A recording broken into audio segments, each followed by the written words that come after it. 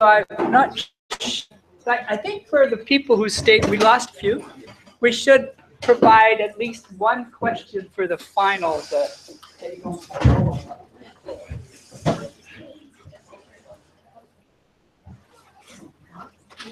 There's two things I want to do. Uh, We, we never really got through looking at a couple of other systems for acquiring data that uh, you you might well come up with. And so I'd like to at least open those up a little bit.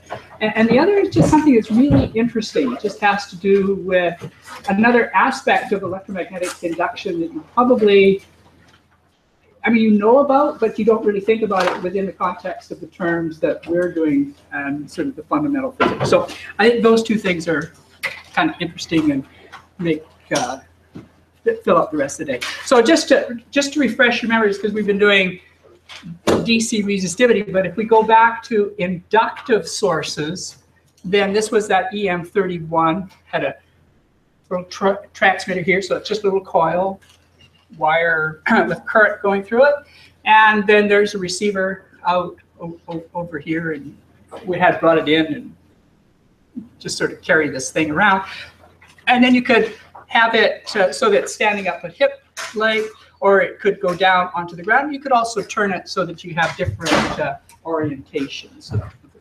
So that's uh, that was one thing, and then we, you've seen this number of times. So that's just your apparent conductivity uh, from the quadrature phase, and then your in phase component. And this guy's basically a metal detector. So you see these blue spots in here. So that's telling you something about what's going on. And this is really apparent conductivity. And if you've got regions in here that are kind of uniformly resistive and it's looking the same in you know, kind of both directions, uh, then you're pretty confident you've got a 1D Earth and maybe you've got something interesting there. When we did the very first lecture, we took you on this uh, tour through Ireland. And there was one place that, uh, or there was one case history that we haven't got back to, and I just thought it'd be interesting to do that. So they were looking for sand and gravel quarries. So now, actually, gravel is uh, is a commodity, right? And if you could find this, uh, you might actually be able to make some money out of it. So these the, the area is, is mountainous. It's got rolling hills and lakes, and it's basically glacial deposits. And the glacial deposits were what gave rise to the uh, to, to sand and, gravel. There's a lot of material that is boggish, uh, sort of wet, uh, you know, uh, sort of carbonate material, and that's very conductive. The gravel deposits, however, uh, you know, they're they're, they're cobbles, they're stones, uh, and they're they're resistive, so they have a low low conductivity. Uh, the other physical properties that you might be interested in uh, is the seismic velocity. So the gravels are really unconsolidated, so you'd expect them to have a really low seismic velocity. So therefore, you can think like a couple of different surveys, something to do with electromagnetics or something to do with seismic. So let's concentrate on electromagnetics. And there's a few things that were done. Again, from a reconnaissance viewpoint, something like the EM31 is pretty easy to uh, to acquire. You just basically go over this this region with your EM31 instrument. You plot out the apparent conductivities. The resolution of this map is pretty bad, but you can still see there's red over here, right? So those are high conductivity areas. And then there's blues over here, which are uh, low conductivity regions. So this is, if you're looking for sand and gravel, then these dark blue areas are, are what you're interested in. So that's great. That gives you kind of like a first order map of what might be there. And then you could use that map to say, no, I want to do a bit of a follow up here. And maybe I'll just take you know, a more a closer look at some of these regions in here. So that's what was done.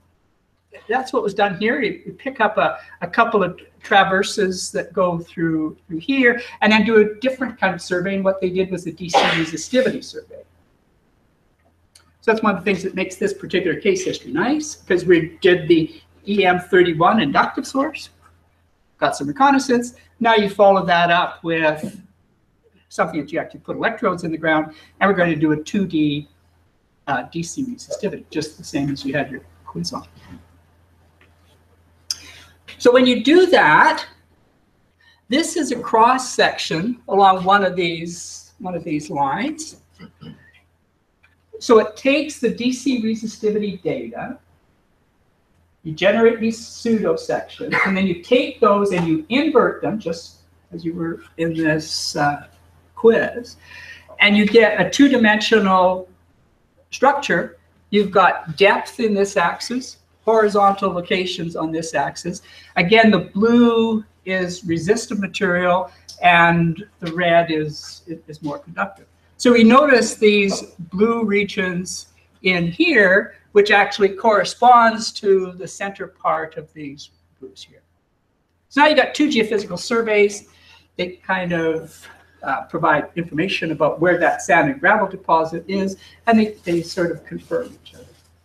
So that would be uh, that would be a really good uh, you know, type of survey. These other lines that are on here, actually that was the results from the seismic survey. These numbers are indicative of uh, seismic velocity in kilometers per second, and that's basically 300 meters per second up here and gets down to a couple of kilometers per second down here. So everything is kind of fitting together, low, uh, low conductivity, low seismic velocity, and uh, that would give you a good indication about where you should go and you know dig things up if you wanted to uh, find that uh, you know, those uh, gravel deposits. So that was uh, cases that kind of tied in the stuff that we were doing. I mentioned that with the EM31 you could turn it on different angles, and the idea with that, and it, all of these things always come down to the same thing. If I've got a loop that's sitting like this, then I've got a magnetic field that's going like that. If I make my loop you know, in this direction, now I got a magnetic field that goes like this. These two sources excite the Earth in a different way. And if we did the uh, the sensitivity function for this, remember it kind of goes up and down like this, where this was sort of a normalized uh, depth, and there was a particular depth at which we were most sensitive. But you're actually, we're not sensitive to stuff that was right at the surface. This thing goes to zero. So it's a maximum. I forgot this was, but it's sort of like uh, z is equal to 0.4 or something like that, where that normalized depth is a true depth uh, scaled by the distance between the transmitter and receiver. So that's what that sensitivity function looked like. When you turn this guy on its side, sensitivity function looks like that. So now it's actually most sensitive to what's happening right at the surface. So that's good. So you can see like, okay, maybe there's, just by taking the instrument, having it one way, and then tilting it, I'm going to get a different image out of what the Earth is, is like. Each of these data are going to provide more information. So that's the transmitter part of it. The other part of it is the receiver. So if I if I'm sitting here with a transmitter and if I have a receiver that's oriented in this particular direction, then I'm going to get a, a certain signal. If I orient it in a different direction, I'm going to get a different signal. Each of those might tell you a little bit, slightly different information about what is, is really happening. And so the idea is that maybe you could go ahead and collect you know, a number of different kinds of these data and then get you know, gradually build up more and more information about what's there. The other thing that you have at your disposal is the frequency. Because remember, the, the important thing about the frequency was that there was this skin depth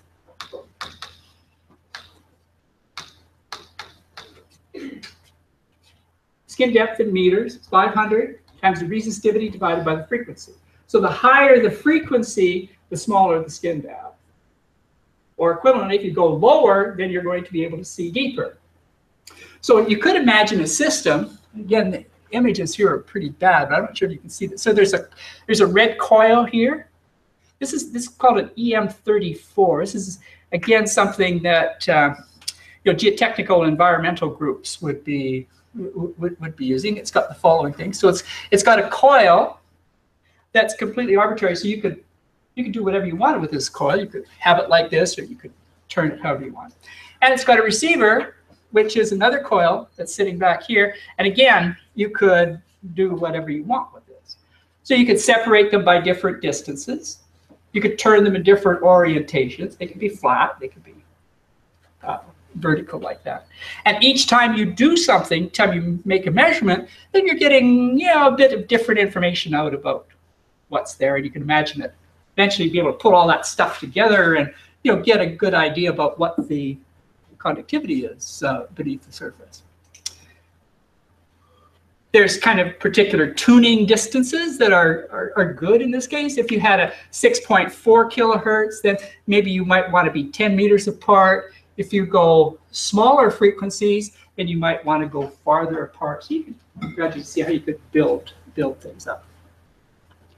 So this is often used for uh, groundwater, uh, mapping contaminants, and sometimes for just groundwater well, exploration for looking deeper.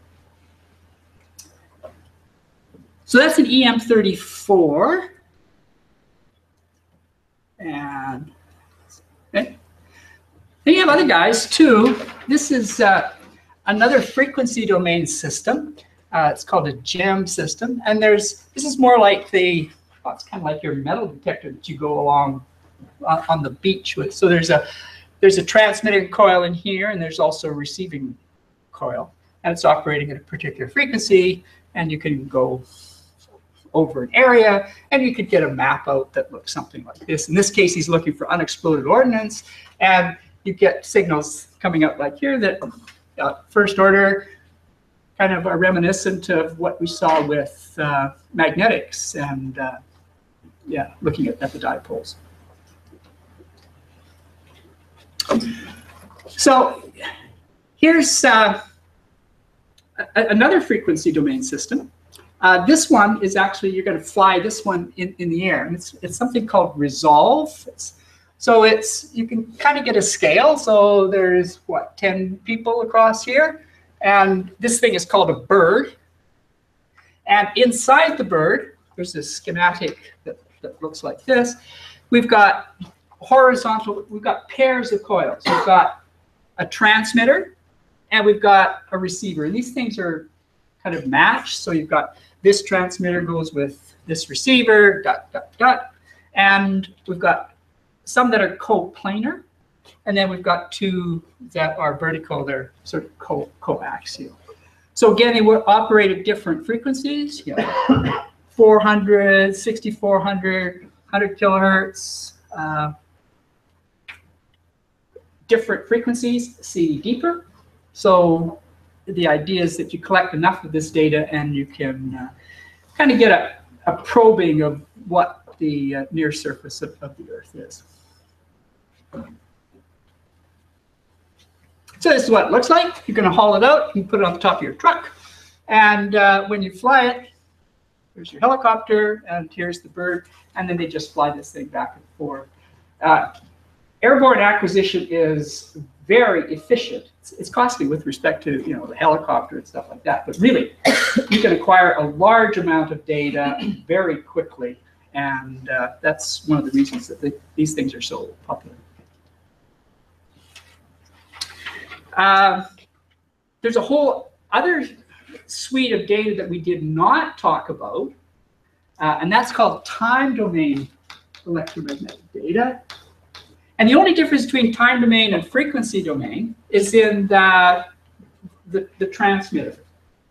So in the frequency domain system, we're always thinking about putting on you know, some kind of harmonic signal that looks like that. In time domain systems, the uh, current source is often, it, it turns on and keeps on for a while, and then it, it shuts off. It's kind of like what we we're doing in DC resistivity, but when we're working with electromagnetic induction, we're operating at very uh, early times after that shutoff, and we can we can often get some kind of signature that's not related to the IP, but is actually related to the electrical conductivity. So that is probably two lectures all in itself, and it would do more harm than good to go into that. But I do want you at least to know that when somebody talks about electromagnetic systems, the systems that they're working with are either in frequency or sometimes they're called time, the other ones are called time domain systems. And the basic principles are the same, but there's some details that change just because of the nature of the, of the input waveform.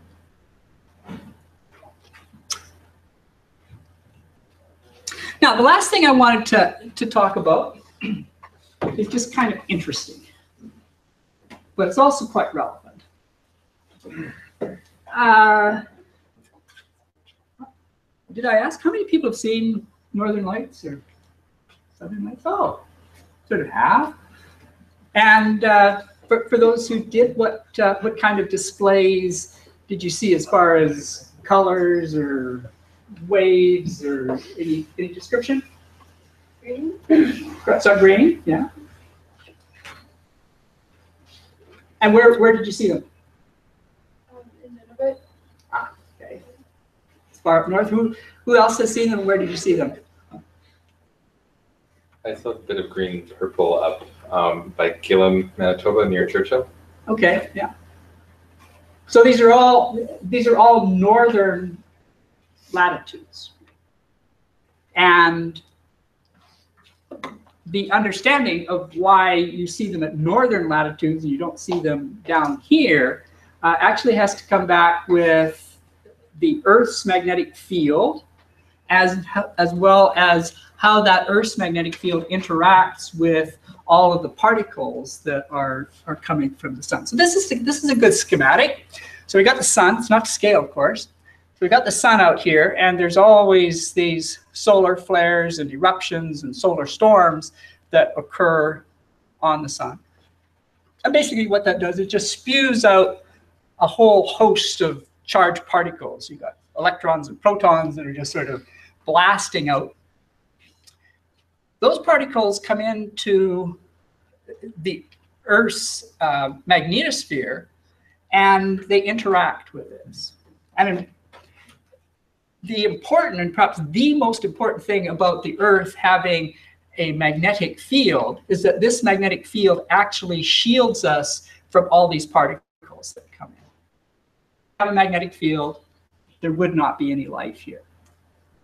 So you can thank the fact that you're here to the existence of, of the Earth's magnetic field because what that does, these high energy particles that, that come in, instead of just sort of blasting through, kind of get deflected uh, deflected around. And so you could kind of think about uh, us having a little bit of a, it's kind of like an umbrella around that just sort of protects us from all, all, all this stuff. And if you look at the magnetic field lines, you know, we were, when we were drawing the magnetic field lines of, of the Earth, you know, we'd always sort of sketch things out, you know, that looks like this, right? And, and that is, in fact, what it, things look like when you're really close to the close to the surface. But if you go farther away, then you suddenly find like, oh, things are really changed. And if you look at this picture here, you can see how that magnetic field is kind of blown back this way and kind of blown out this way. In fact, there is what's called a magnetotail that comes out here. This magnetic field comes way up there. So that's the static situation of the Earth's magnetic field and, and how, it's, uh, how it's protecting us. Despite the fact that this is actually acting as a shield, there are ways in which particles uh, can sort of sneak through. They kind of go in through the back end here, and with field line reconnection, they kind of come back out this way. And as they come in, we have a have a charged particle. If you remember from first year physics, if you had a if you had a particle that was moving at a particular velocity, and it was through a magnetic field at some q, there was a force on it that depended upon the cross product of the velocity and the magnetic field. What that means is that as these particles come through and they're interacting with the field, that they uh, there's a force that's acting on them that kind of controls how they uh, how they move through here, and they end up spiraling down these magnetic field lines, so that the particles come in, they sort of spiral down, and then there's a region up at about 110 kilometers called the ionosphere, uh, in which these particles actually move kind of horizontally across the, uh, you know, at that ionospheric level. So the particles come down, move across, and then they can go back up.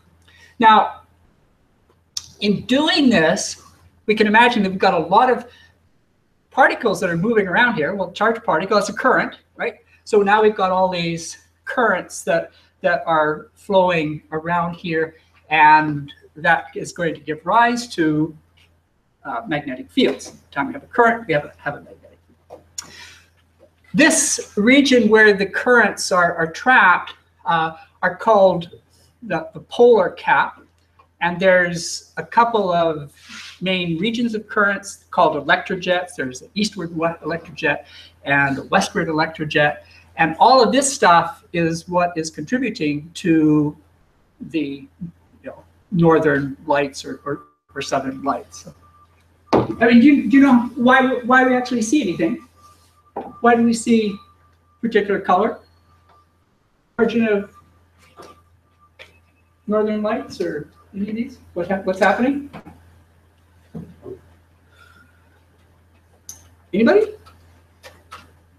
Because they get excited and they certain frequency of energy. Yeah, that's that's close. So if we've got an atom, okay, and then around that atom, so we got positive charges and neutrons in here. Around the atom, we got you know some electrons, right? Remember, there's these shells. You know, first one has two, next we've got eight, and the, the point about these shells is they, they're different energy states. So if I have an incoming particle that comes in, so now I've got this proton or electron that's coming in, interacts with this guy, and if he knocks them out into an outer shell, so there's some energy that's gone from my proton to knock this guy out. Okay, that's good. But when he decays back, which he will, goes back here, and then there's a photon that's given off, and the photon is gives rise to you know its, its color of a particular wavelength. So depending upon what the energy band difference is here, I'm going to see either a yellow or a red or a blue. Right? So how's this all working? So we've got particles that are coming in. We're kind of protected by our magnetosphere. Still stuff comes in. It's going through some regions in here through the through the electrojets. Those particles are hitting nitrogen atoms, oxygen atoms up there, exciting them. When those decay back, I get a color of light. So where is this uh, auroral oval? It changes uh, when there's a big storm. Here's a here's a couple of pictures um, as a function of time of a big storm that occurred a number of, of years ago, and it the color intensity here shows the magnitude of the of, of, the currents that are going on. So you can see a couple of things. One is that the currents are increasing, and secondly, they're moving a bit southward. So that's just a kind of a bit of a blown up picture. And then this is what the uh, resultant uh, visual image would look like with these uh, aurora. And if you, for those people who haven't had a chance to see it, it's, it's something you've got to do once in your lifetime because they're just quite remarkable. You're just sitting there and you just got these sheets of shimmering light that are coming in. And you just kind of imagine all these particles that are coming down and just creating all this stuff. It's, it, it is quite magical. The thing I wanted to show you was the following. this record that we've got here, they have uh, three component magnetometers, measure kind of X, Y, and, and Z as a function of time. So we've got time along here. And these are days. And as we, and this axis is in nanoteslas.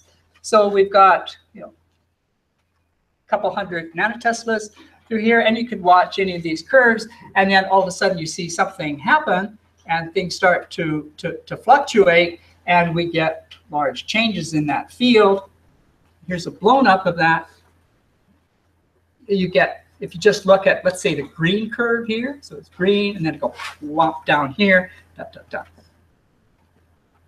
So this is the magnetic field with time. So when I'm sitting up here, you know, and 30 seconds later I'm down here, that's telling me that the magnetic field is changing a lot. Okay, so what is the first thing you think about when somebody tells you, oh, the magnetic field is changing? Anybody? Oh, I gotta do this one. Come on. What? Inducing currents? Yeah, exactly. I've got a magnetic field. I've got a time varying magnetic field, right? So that means it's got to be generating currents in any kind of a, uh, of, of a conductor. So we can actually use that. Uh, this is actually great information to use to penetrate to find the uh, conductivity way down deep inside the Earth. In fact, I did my master's degree on that a few years ago. Uh, but the other thing it can do is the following. We have our whole power system is grids, right? So what do we do? We've got these electrical substations and we have grids, you know, that go along like this, right?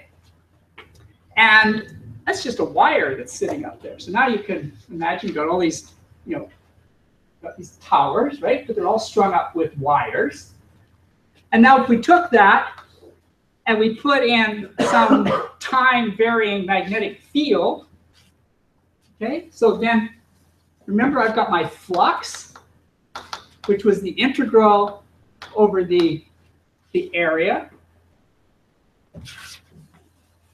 times b dot n hat dA. So in that case, this might just be the integral over the area of the bz component.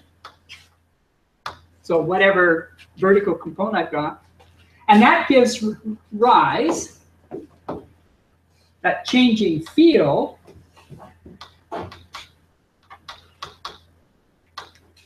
gives rise to a voltage. So my time rate of change of this flux gives rise to a voltage. So if you go back here, so at one point the magnetic field is like this, right? And just a short time later, it's like this.